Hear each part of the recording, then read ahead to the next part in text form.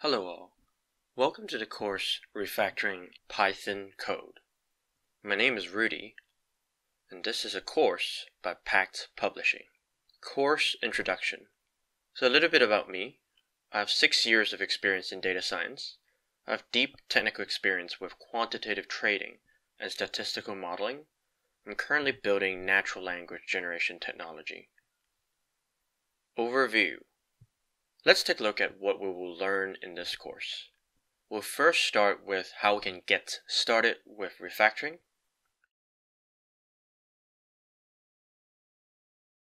We'll talk about removing Python anti-patterns, which are patterns that signify you have technical debts or unclean code in your code base. We'll talk about how we can refactor methods. So methods are also called functions, in this chapter, we're going to show you how we can refactor things in functions. And then we're going to move on to refactoring classes and objects. So when you have a code base that is based on OOP principles, how can we refactor those? And then we're going to move on to pattern-based refactorings, which are less groupable into methods or classes and objects, but more based on recognizing patterns of what's happening in your code base. In the last section, we're going to talk about using third-party refactoring tools.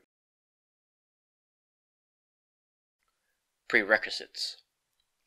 The only prerequisites of this course is we want you to have a strong understanding of Python programming. So what this means here is you probably have one or two years of Python programming experience. You're probably well versed in Python itself, but maybe you need a more systematic overview of what makes good, clean code in Python that doesn't contain a lot of technical debt. This is what the course is designed to show you. Goals. We want to teach you three things. Number one, we want you to learn techniques and methods to improve the design of your existing code. Number two, we want you to identify code that requires refactoring and apply the techniques learned Number three, apply the learned techniques to your legacy code and bring it up to date using refactoring techniques.